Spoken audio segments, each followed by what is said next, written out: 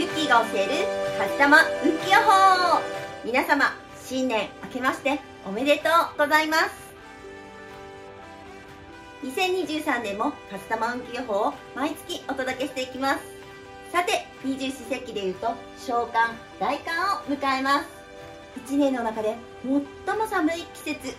このように自然界に季節があるように人の人生にも季節が存在します。それを運勢や運気と言います。春に種をまき夏に開花し秋に収穫し冬に種を作るように。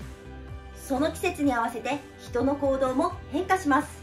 しかし自然界の季節と違い人生の季節は肌で感じることができません。そこで風玉を知るだけであなたの運気を示すことができるんです。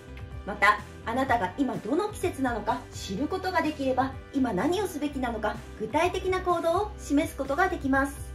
ここまで聞くとあなたが今どの季節なのか知りたくなりますよね。そこで1ヶ月の運気予報をお伝えしていきます。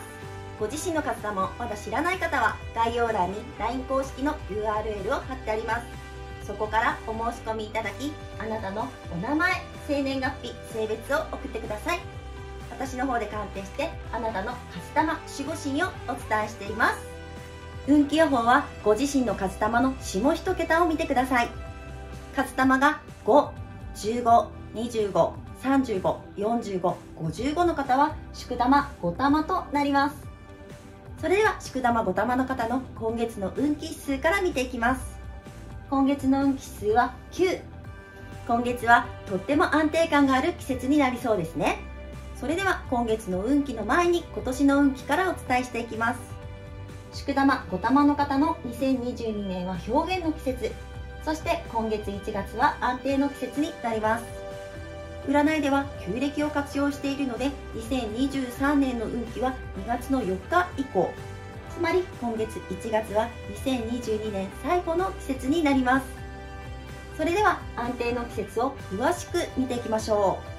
姿勢を正し行動を意識するようになるため外部から資金や社会的援助を受けやすくなり蓄財もできるようになるので金銭面において好調な時期となります。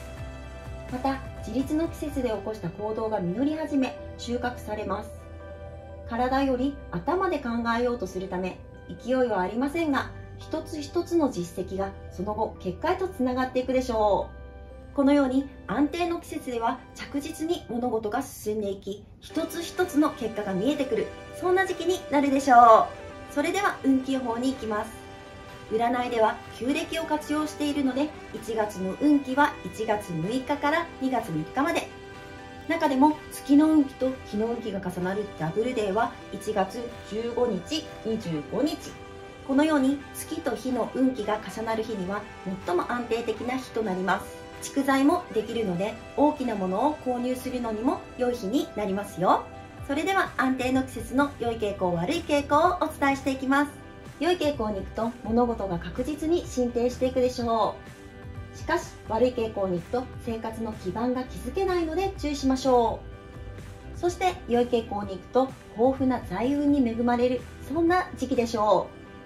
しかし悪い傾向に行くと金銭的に苦しい時期になるので注意しましょうそして良い傾向に行くと着実に仕事をこなせば成果につながるそんな時期になるでしょうしかし悪い傾向に行くと期待外れに終わりがちになるので注意しましょうこのように運気予報をチェックして毎月の行動の指針にしていきましょうさあ皆さんい。かがだったでしょうかあなたの人生の季節を知ることであなたが望むべき未来をどのようにして手に入れるのか具体的な行動を示すことができます。カスタマ運気予報は毎月アップしていきますので人生の参考にしてくださいね。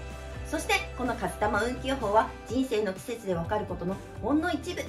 仕事運恋愛運金運健康運全体運などもっと詳しく知りたい方はこのような冊子もご準備しております。